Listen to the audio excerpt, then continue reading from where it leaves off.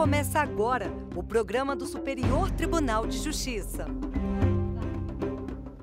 Olá, seja muito bem-vindo. Eu sou Kátia Gomes e o STJ Notícias está no ar. Neto com deficiência grave, física e psíquica, que esteve sob guarda do avô, tem direito à pensão por morte do tipo vitalícia.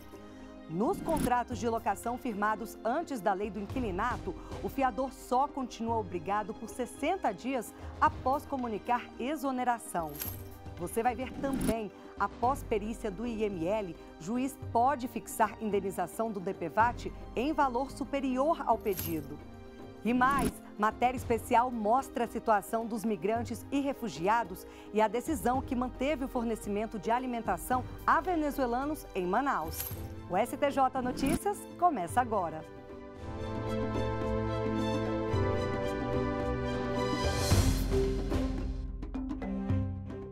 Com o agravamento da crise econômica e social na Venezuela, o fluxo de migrantes e refugiados venezuelanos cresceu muito nos últimos anos.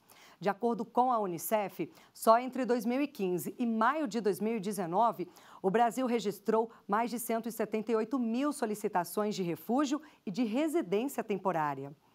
A maioria dos migrantes entra pela fronteira norte do Brasil.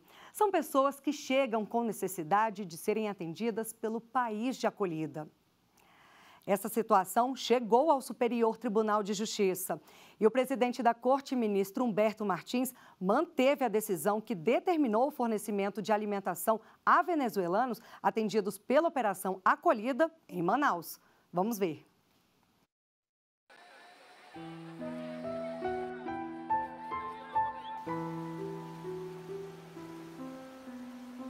A Venezuela hoje em dia tem uma situação política, econômica, social, inseguridade, que é eh, terrível, terrível.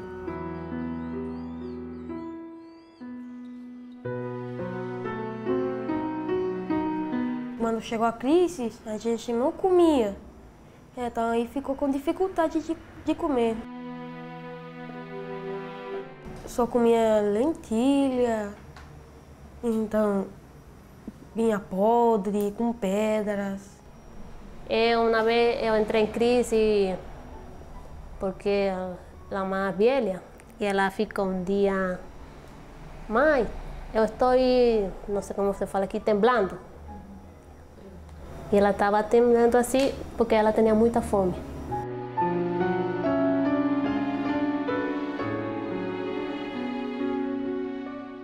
Refugiados são, são pessoas né, que são obrigadas a, a passar por uma migração forçada. Né? Então, eles são obrigados a deixar sua casa em razão de um fundado temor de perseguição ou uma situação de grave generalizada violação de direitos humanos. E, além disso, além de serem obrigados a deixar suas casas, suas residências, eles não podem voltar nesse curto espaço de tempo, justamente porque sua vida, liberdade ou integridade física está em perigo. Cada pedido ele é analisado de maneira individual, para saber se existe credibilidade na história daquela pessoa, se aquela pessoa realmente sofre de um fundado temor de perseguição ou uh, se o país tem uma situação de grave generalizada violação de direitos humanos.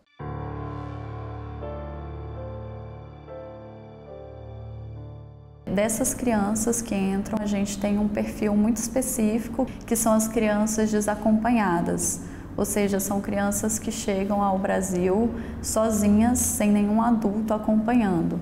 Tem também aquele perfil que são as crianças separadas, é, que são separadas dos seus pais, ou seja, elas não estão sozinhas, elas vêm com algum adulto responsável, mas esse adulto não, não é o pai ou a mãe. Só que essas pessoas não têm a guarda legal da criança. Então, uma coisa, quando eles entram, é fazer a regularização migratória, a outra é a regularização da guarda. Existem duas possibilidades que o venezuelano encontra ao chegar no território brasileiro: ou ele busca uma residência temporária, ou, caso ele uh, entenda que seja mais adequada a sua situação, uh, faz a solicitação de refúgio que depois vai ser analisada pelo CONARE.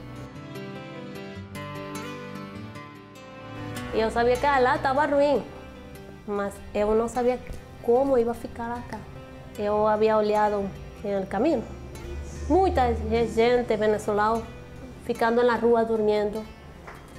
com as crianças assim passando fio. Fiquei triste de vir para cá, deixar meu país.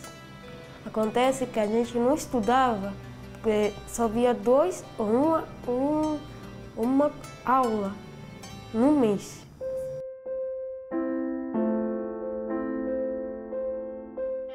Eu conheci uma menina no mesmo povo onde eu conheci ela, que com 12 anos estava grávida.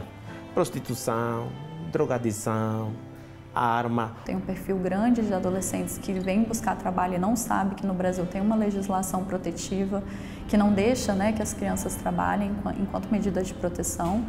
É, ou tem algumas, inclusive, que vêm fugindo de violência. Operação Acolhida, que é essa resposta emergencial coordenada pelo governo federal junto com agências da ONU e Sociedade Civil, tem sido exemplo para todos os países da região. Ele existe um tripé básico dessa operação acolhida, dessa resposta emergencial: o ordenamento de fronteira, abrigamento e a interiorização. É muito importante entender que esses três eixos, esse tripé, ele tem que funcionar de maneira harmônica.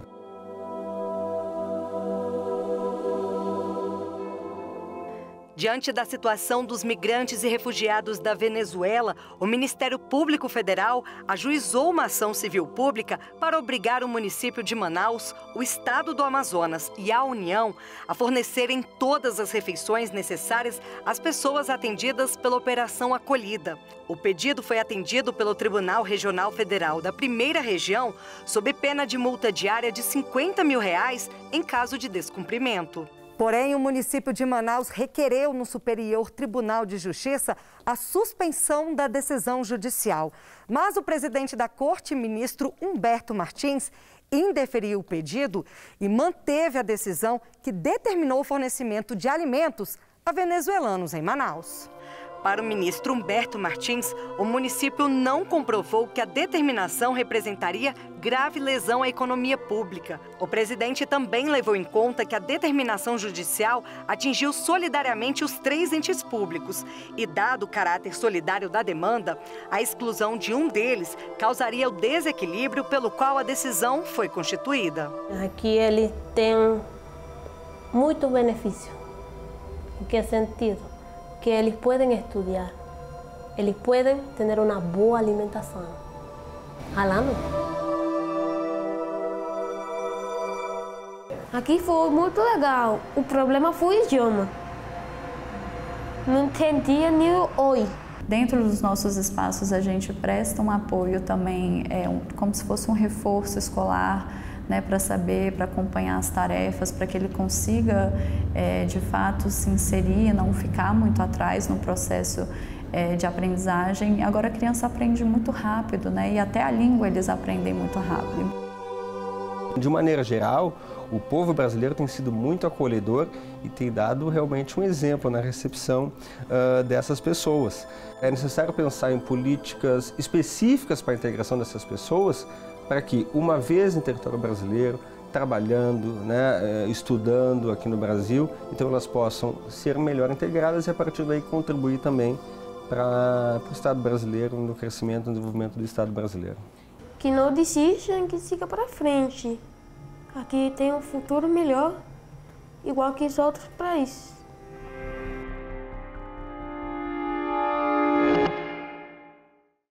Que histórias incríveis, né? E olha, na página de jurisprudência disponível no portal do STJ, é possível pesquisar outras decisões sobre o assunto.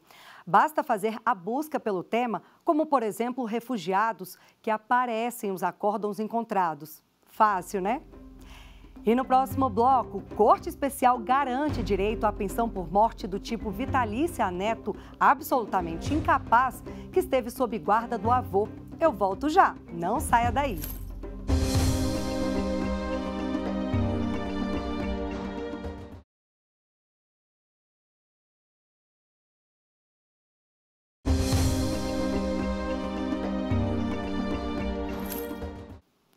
Vamos ver agora as mais recentes decisões do Superior Tribunal de Justiça. A Corte Especial recebeu denúncia contra o governador afastado do Rio de Janeiro, Wilson Witzel, pelos crimes de corrupção passiva e lavagem de dinheiro.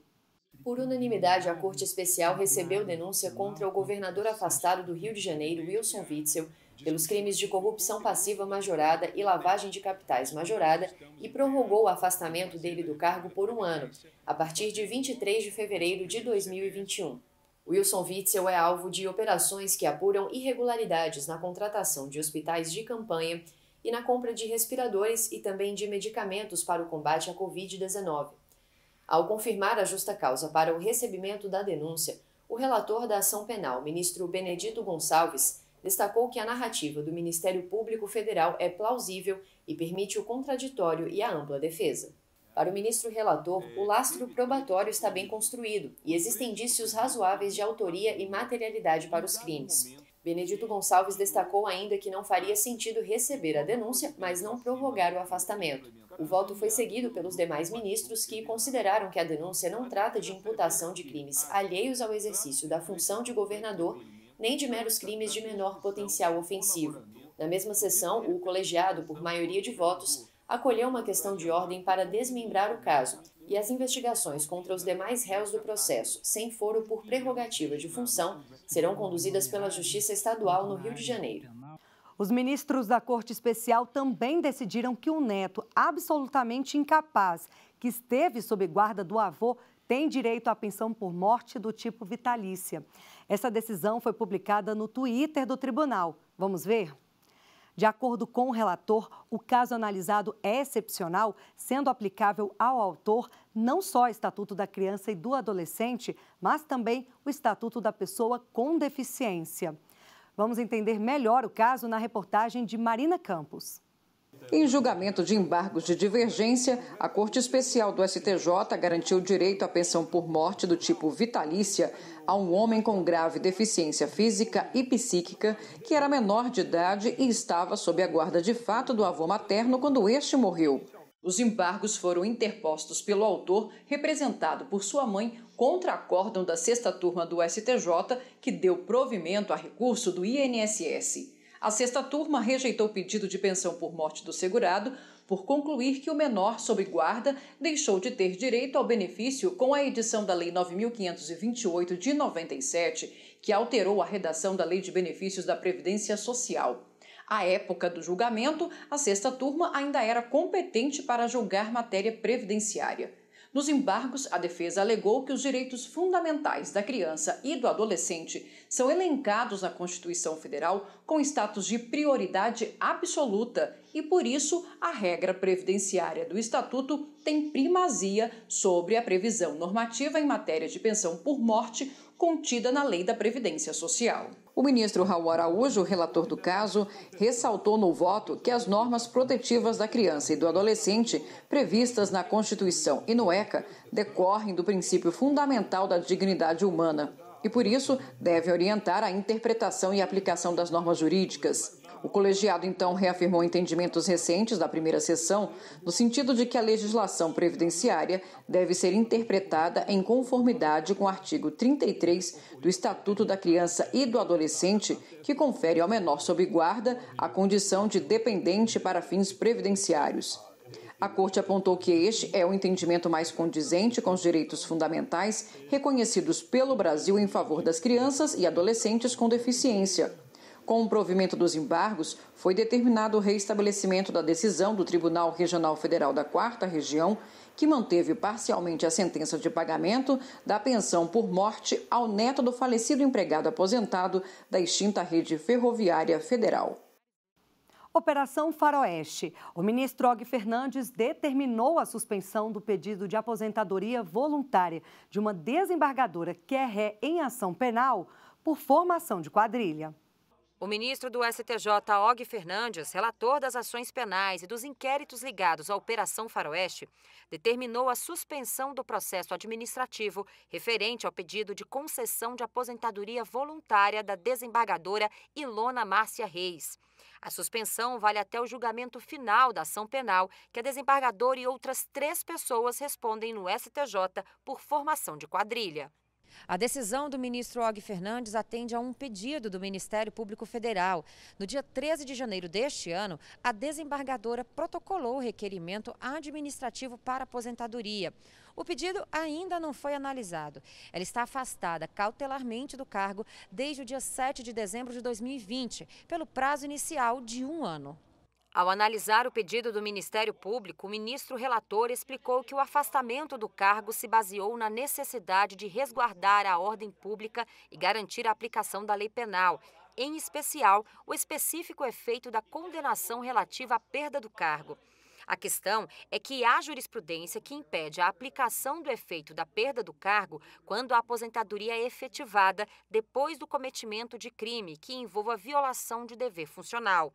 De acordo com o ministro, seria juridicamente incoerente impedir a aposentadoria voluntária do magistrado que responde a processo administrativo disciplinar, mas permitir a aposentadoria daquele que responde a processo criminal. Na sexta turma, os ministros mantiveram bloqueio de bens contra suspeito de negociar compra de votos para a escolha do Rio de Janeiro como sede das Olimpíadas de 2016.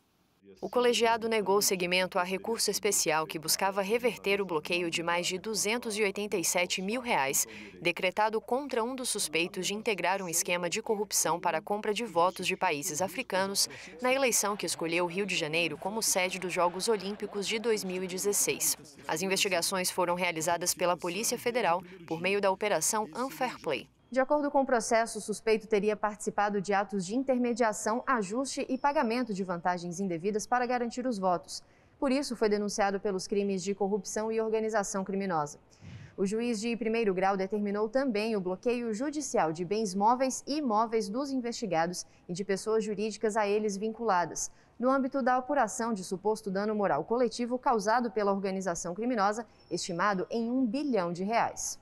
O Tribunal Regional Federal da Segunda Região reconheceu a legalidade do bloqueio, mas limitou a 30% do faturamento à constrição do patrimônio das pessoas jurídicas. O relator do recurso no STJ, ministro Rogério Schietti Cruz, considerou que a medida determinada pela Justiça Federal pressupõe a existência de indícios concretos da responsabilidade por crime que resulta em prejuízo para a fazenda pública. No voto, o relator destacou que o TRF2 enfatizou a urgência da medida, em razão de um prejuízo material de aproximadamente 6 milhões de reais e de supostos danos morais avaliados em 1 bilhão de reais, justificando o receio de insuficiência patrimonial dos réus réus em caso de condenação.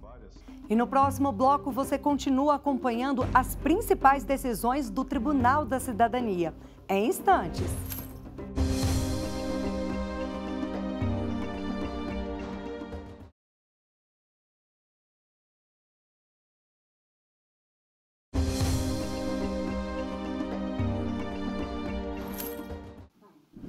A gente continua com decisões do Superior Tribunal de Justiça.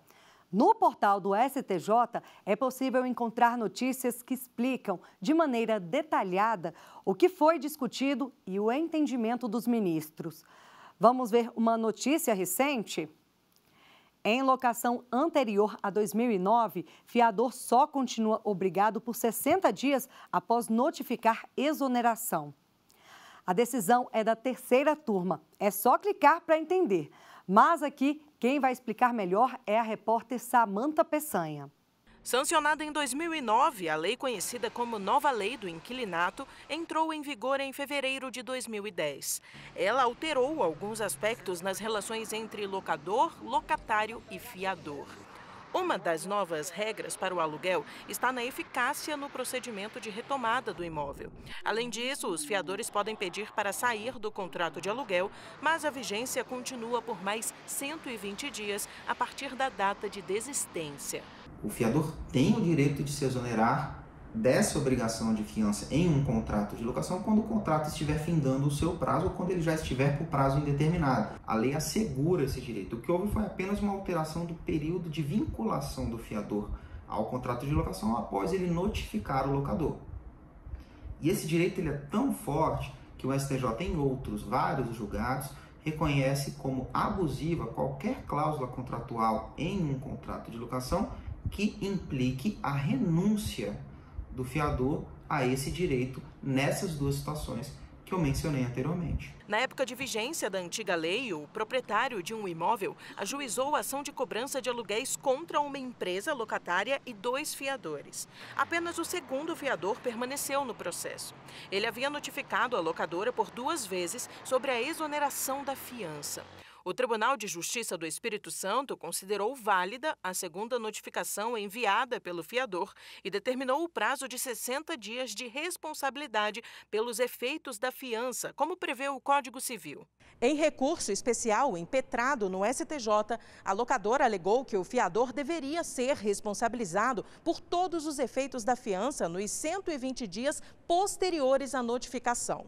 Ao analisar o processo, a relatora ministra Nancy Andrighi explicou que, com o advento da Lei 12.112 de 2009, houve o acréscimo do inciso 10 no artigo 40 na Lei do Inquilinato de 1991 para reconhecer a não perpetuidade da fiança e assegurar ao fiador a faculdade da exoneração quando o contrato fosse prorrogado por prazo indeterminado. Contudo, segundo a ministra, mesmo depois da notificação, o fiador permanecerá sujeito aos efeitos da fiança durante os posteriores 120 dias. Antes da nova lei de 2009, segundo a ministra, a possibilidade de exoneração do fiador também existia por meio da regra geral prevista na legislação civil, que estabelecia o prazo de 60 dias após a notificação de exoneração, como na situação analisada. Já sofreu um acidente e precisou da indenização do DPVAT? O seguro foi criado há quase 50 anos para indenizar cidadãos envolvidos em acidentes de trânsito, sejam eles motoristas, passageiros ou pedestres. Recentemente, a terceira turma decidiu que, após perícia do IML, juiz pode fixar indenização do DPVAT em valor superior ao pedido. Vamos entender. O entendimento do colegiado foi de que não configura julgamento além do pedido a sentença que concede à vítima de acidente automobilístico a indenização do seguro DPVAT em valor acima do que foi requerido na ação, desde que seja condizente com o grau de invalidez apurado pelo Instituto Médico Legal, o IML, em perícia posterior ao ajuizamento da demanda. O recurso teve origem em ação de cobrança de complementação de indenização do DPVAT, no qual o segurado argumentou que o valor de aproximadamente 840 reais recebido administrativamente não condizia com a gravidade da lesão sofrida. O laudo do IML constatou que o acidente causou um déficit funcional de 50% da perna direita. Em primeiro grau, a seguradora foi condenada a pagar a complementação de R$ 506,26, além de juros e correção monetária, em razão de perícia feita pelo IML no decorrer da instrução processual. Após recurso das duas partes, o Tribunal de Justiça do Paraná concluiu que deveriam ser pagos cerca de R$ 3.800 de indenização. Mas em novo recurso da seguradora, o tribunal reconheceu o julgamento além do pedido e reduziu a indenização para R$ 2.859,53, valor pedido inicialmente. Ao analisar o caso no STJ, a relatora, ministra Nancy Andrighi, pontuou que é indispensável a realização de perícia para quantificar a indenização, porque o valor só pode ser aferido a partir da extensão das lesões sofridas pela vítima. Para a relatora, a eventual realização de laudo pericial pelo IML no curso do processo deve ser considerada fato superveniente constitutivo do direito do autor, como prevê o Código de Processo Civil. Assim, a terceira turma do Superior Tribunal de Justiça seguiu o voto da relatora no sentido de que não foi configurado julgamento além do pedido. Você sabia que o Superior Tribunal de Justiça está na TV, internet, em todas as redes sociais e em plataforma? No Spotify, nós temos o quadro Entender Direito. Uma das edições do podcast fala sobre a teoria da perda de uma chance. Especialistas explicam como ela surgiu e em que casos podem ser aplicadas. Vamos ouvir um trecho do bate-papo entre o jornalista Tiago Gomide e o juiz de direito Pablo Stouzi. A perda de uma chance é indenizável quando existe, é, é, quando, quando se afasta uma fundada expectativa ou uma probabilidade favorável ao lesado, é, em linhas gerais. Né? Aquele, o exemplo, grande professor Tarta, clássico, né, daquele corredor, aquele maratonista que estava no, vencendo a corrida, né, e um sujeito pega ele, segura, impede que ele ganhe, né, não se saberia se ele iria ganhar. ele em tese perdeu a chance de. Ficou curioso sobre o assunto? Então acessa lá. É só digitar Superior Tribunal de Justiça no aplicativo. O nosso programa fica por aqui. A gente volta semana que vem com novas decisões e informações do Tribunal da Cidadania. Se quiser rever o programa, é só acessar a nossa página no YouTube. O STJ também posta notícias de relevância nas redes sociais, Twitter, Facebook e Instagram. Segue a gente! Eu agradeço a companhia e até o próximo STJ Notícias. Tchau, tchau!